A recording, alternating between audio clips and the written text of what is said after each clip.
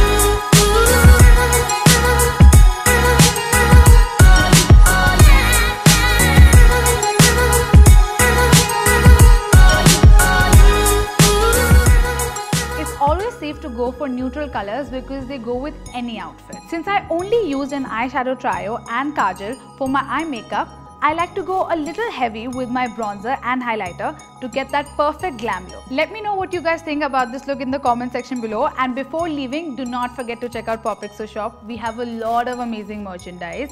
The link is in the description. Happy shopping! And for more such makeup tutorials and skincare tips and tricks, keep watching POPxo daily.